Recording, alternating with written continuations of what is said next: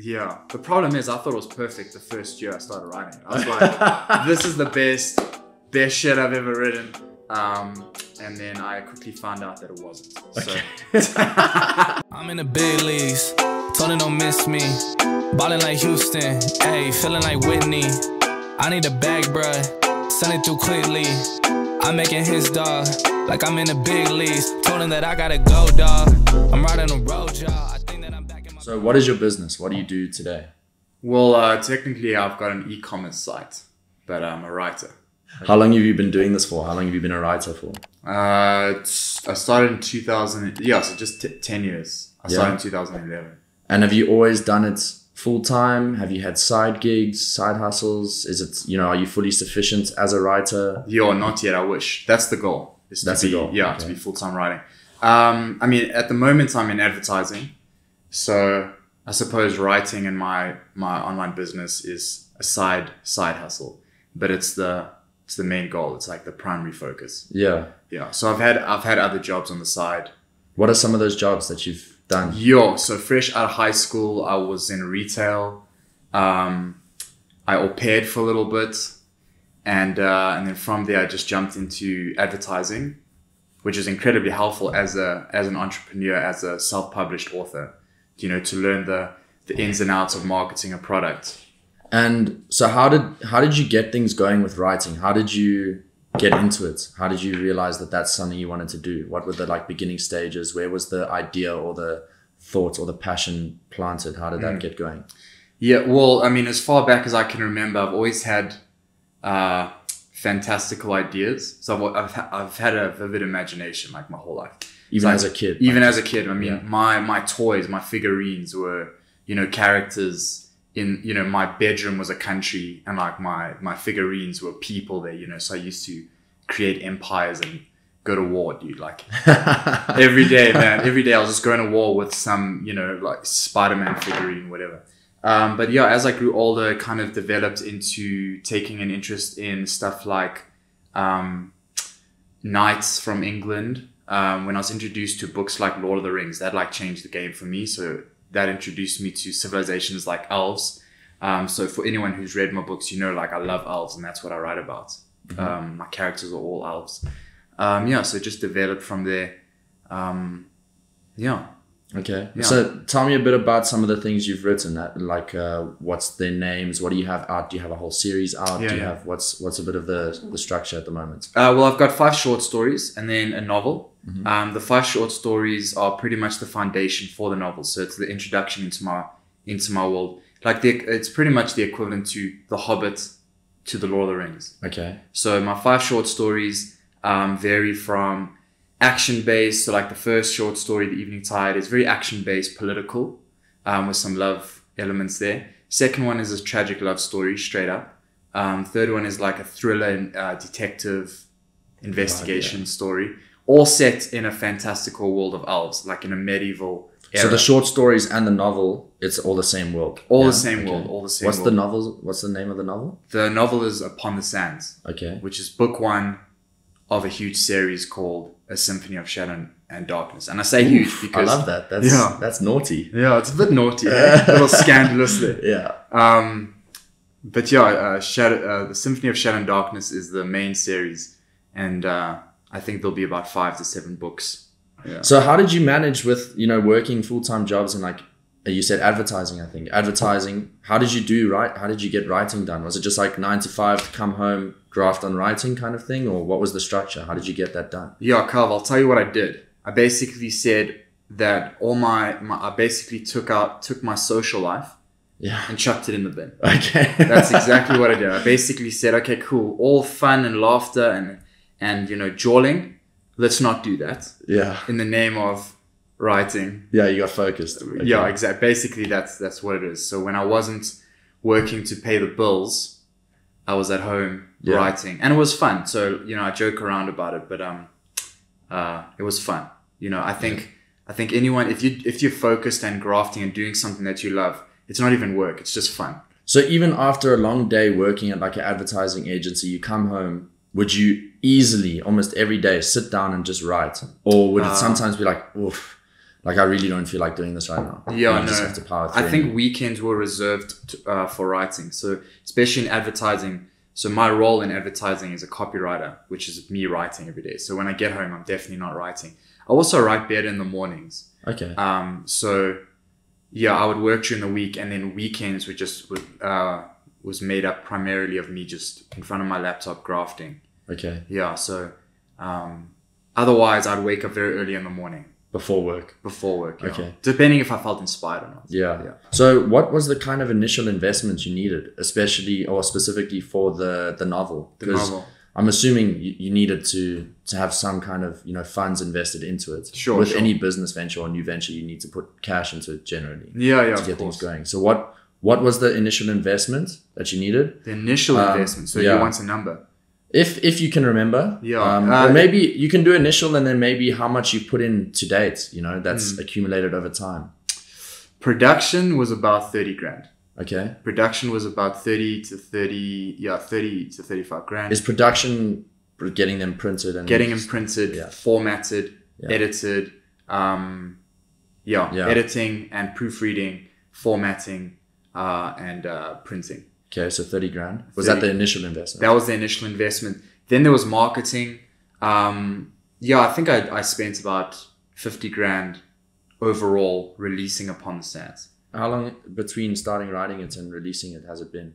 10 years. Oh, so it's, yo, you've been working on it. I've been working on re- minute. rewrite after rewrite. Okay, I mean, you, wanted, you obviously wanted to perfect it. You didn't want to release something that wasn't in your eyes, you know. Yeah. The problem is, I thought it was perfect the first year I started writing. I was like, this is the best, best shit I've ever written. Um, and then I quickly found out that it wasn't. So, so I, we love that. yeah, so I had to spend some time um, perfecting it actually, Yeah, yeah. uh, and getting it to a place where, so you know, I would read it over and over again and just do rewrites after rewrites. Um, and every single time I'd get to a chapter, I'd be like, "Cool, this is amazing." Next chapter, okay, this is not so much. Um, but by the time it was ready for publishing, I, every single chapter that I read, I was just like, "This is this hits the spot." And I think from there, I knew, "Cool, it's ready." Okay, Yeah, and based on the reviews and the feedback, it's uh, I was right. yeah. Yeah. Cool. And so on that 50 grand, what kind of returns have you seen so far? Has it been up to up to standard? Has it been a bit behind? You Yeah, know what I mean? Because obviously in investing it, you had an idea of how long it would take for you to make it back, maybe, and then maybe move into profits kind of thing. Yeah, yeah. Has it been what you expected, but below? Yeah, it's I, I haven't made profit yet, um, but at the same time, my launch, you know, generated it generated over twenty grand. Okay, just So- the launch. Wow. Just the launch, yeah. So um, if the you know like just on, in, in light of that and considering that that I'm a no name at this point and still you know coming up, um, I'm very proud of of the outcome. Yeah, that's epic. Yeah, Okay, and but I also believe that when it comes to when it comes to products and startups or whatever business, there's is there there there is going to be initial loss in the beginning, um, but uh, the cool thing is the product's out there, Yeah. and uh, I'm anticipating um, that eventually you know the returns are going to start coming in. Yeah. And in, you know, in doing any kind of personal venture or pursuit or whatever, there's always challenges and hurdles and struggles. What is what is one of the biggest challenges or hurdles you've faced? I think it's just the the natural process of perfecting your product.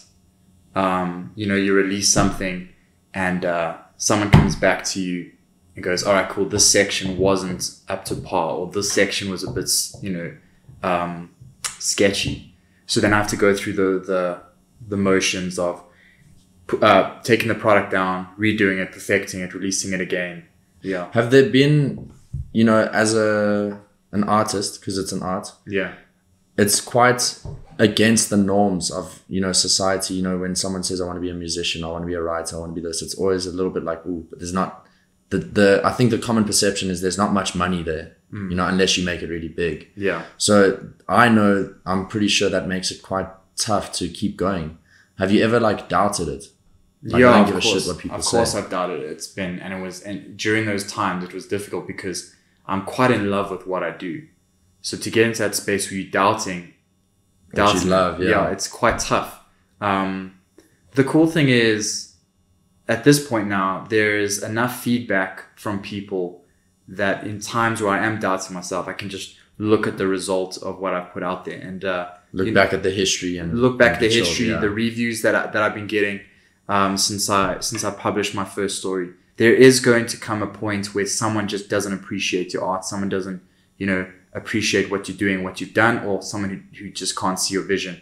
And uh, you know, those people are going to give your stuff a try, and they're not going to enjoy it. Um, it's just the nature of art. I mean, you've got yeah, incredible artists today who have you know who are just sitting on mountains of accolades um, but you're still going to get the person someone that comes around and just goes now they shit or they ain't you know they ain't they the bomb. yeah, so it's just the nature of art um, so it's something that i've had to kind of get a, get a thicker skin for. It's something that when i do deal with the doubt because it still comes there's still moments where i'm like cool um, maybe i'm not as maybe my stories aren't as great as i think they are uh, when that doubt comes i just kind of look at the success that i've had and uh, i'm encouraged again yeah, yeah. Fair Yeah. enough.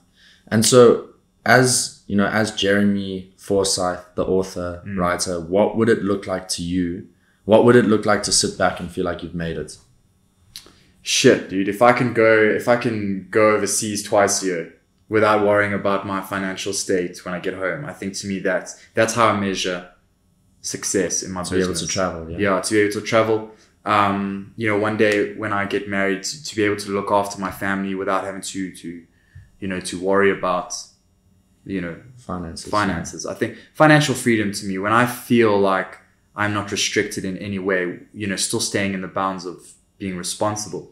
Um, when I'm in that space, I think to me, I will sit back and go, cool, I'm, I, I have succeeded. And that doesn't necessarily mean I have to be driving a Ferrari or, you know, you know, living that jet life, but financial freedom in that capacity, in a very uh, small capacity, I would say. And if there was one thing you could do differently, is there anything you would have done differently? Because you know, in any venture, you also come across crossroads. You know, where you're sometimes forced to make decisions. Yeah. Is there some that come to mind where you think if I actually went this way instead of the way I did go, it could have turned out better?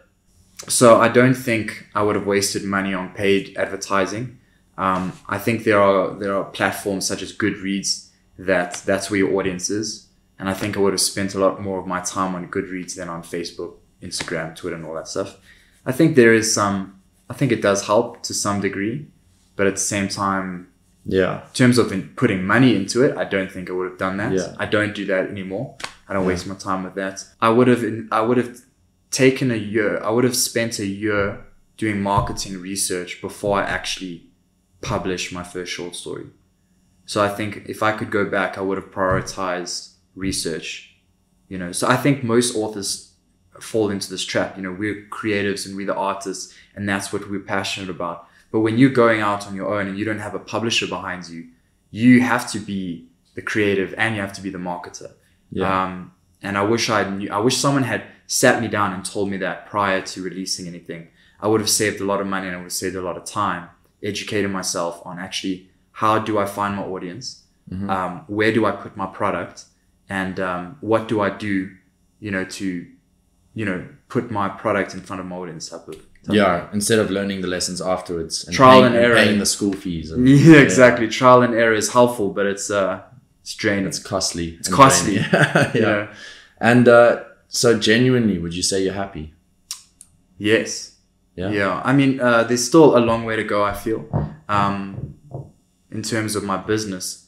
Um, personally, I believe I'm the happiest I've ever been, just in my own personal growth.